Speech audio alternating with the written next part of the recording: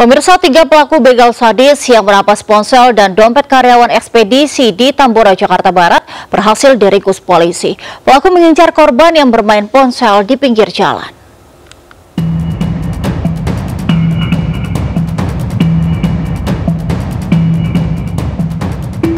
Tiga pelaku begal sadis terhadap karyawan ekspedisi di Jalan Roa Malaka, Tambora, Jakarta Barat ditangkap aparat Polsek Tambora.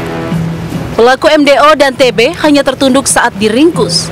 Sementara satu pelaku berinisial AP masih di bawah umur. Kepada penyidik, pelaku mengaku aksi begal dilakukan dengan berkeliling wilayah Tambora mengincar korban yang bermain ponsel di pinggir jalan.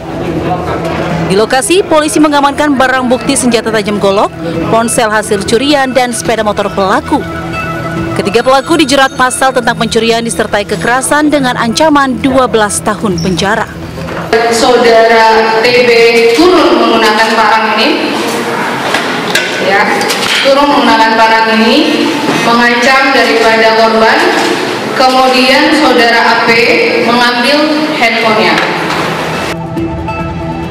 Sebelumnya, dua karyawan jasa ekspedisi jadi korban begal sadis di Tambora, Jakarta Barat. Pelaku merampas dua ponsel dan dompet korban sambil menodongkan senjata tajam golok.